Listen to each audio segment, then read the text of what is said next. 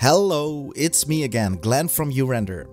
In this video I will show you how to use our multi-material. It's very easy to set up and very powerful, so I'm pretty sure you will like it. Let's directly dive in and create a little scene. I want to distribute many of these bunnies onto a surface. I will use the landscape object for that. Next, I create a cloner object, parent the bunny groups and assign the landscape object as object in the MoGraph cloner. Depending on the model, you may need to adjust the rotation. Set the instance mode to render instance and increase the count of bunnies as you like.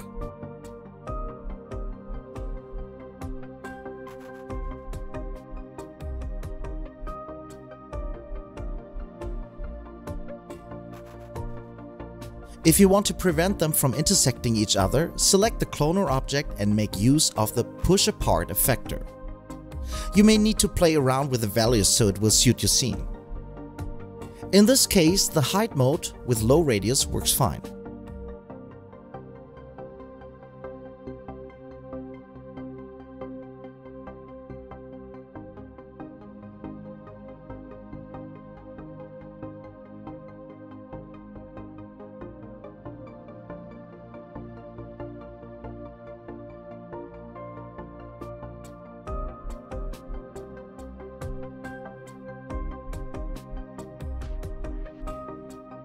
Now I would like to have different colors for the fur of the bunnies.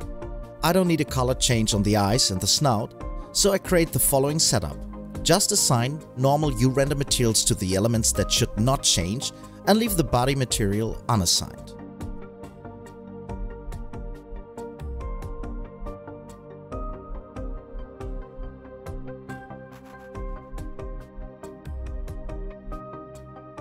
Next create a uRender multi-material.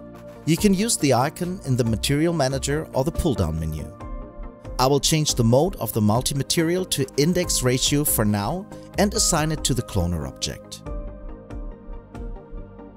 You can create as many slots as you need by clicking on Add Material. Create Material automatically assigns a new uRender material. Of course, you can also drag in existing materials as well.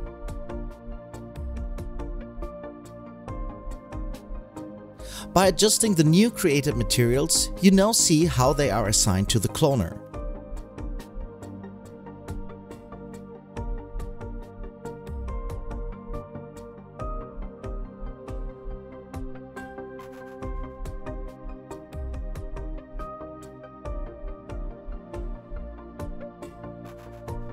We also added a weight value. So if you want to have more bunnies with pink color, just increase this value.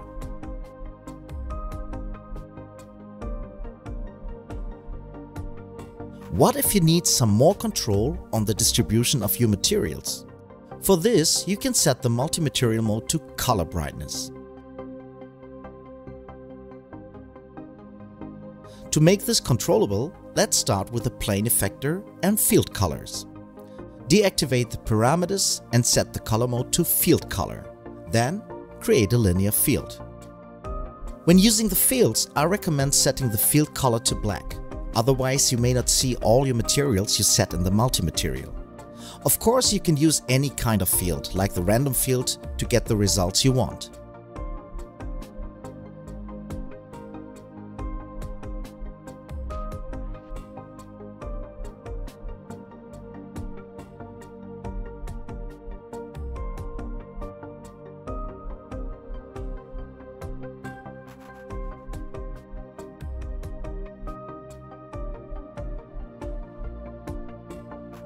Thanks for watching. If you liked this video, don't forget to give us a thumbs up and subscribe to our channel.